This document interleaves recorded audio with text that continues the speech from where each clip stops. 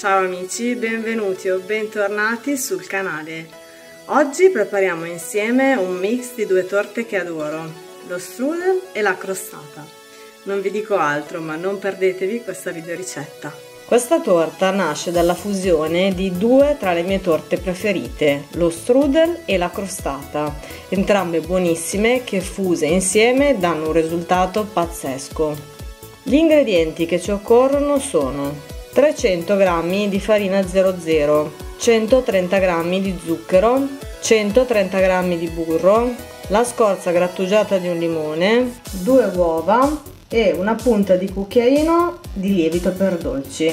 Per il nostro ripieno invece ci occorrono due mele tagliate a cubetti, due cucchiai di marmellata di albicocche, pinoli quanto basta, uvette precedentemente ammollate nell'acqua in base ai gusti e infine due cucchiai di zucchero. Mettiamo nel mix tutti gli ingredienti, partiamo quindi dalla farina, aggiungiamo lo zucchero, la scorza del limone, il pizzico di lievito, aggiungiamo anche il burro tagliato a pezzetti a temperatura ambiente, aggiungiamo anche l'uovo intero e il tuorlo. E azioniamo il nostro mixer fino a quando si formerà una palla di impasto naturalmente all'interno dello stesso mixer.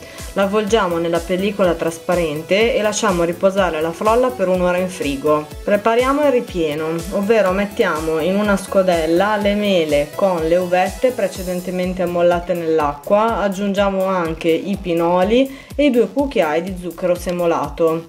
Irroriamo tutto con mezzo limone spremuto e mescoliamo con la forchetta. Imburriamo e infariniamo uno stampo del diametro di 22 cm e riempiamo con la nostra pasta frolla. Bucherelliamo il fondo con una forchetta per fare in modo che la cottura sia più uniforme e riempiamo con il nostro ripieno.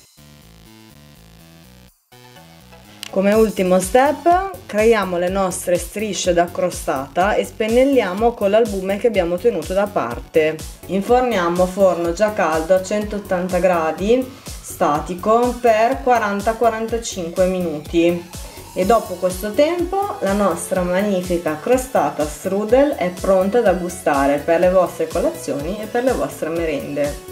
Se la ricetta vi è piaciuta lasciate un bel like, iscrivetevi al canale, lasciatemi un commento e se non l'avete ancora fatto cliccate sulla campanella qui in basso per ricevere tutte le notifiche dei miei prossimi video.